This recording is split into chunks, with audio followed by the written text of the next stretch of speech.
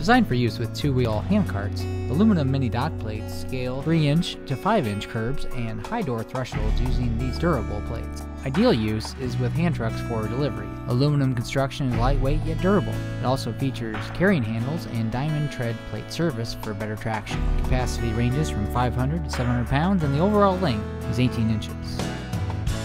Aluminum mini dock plates.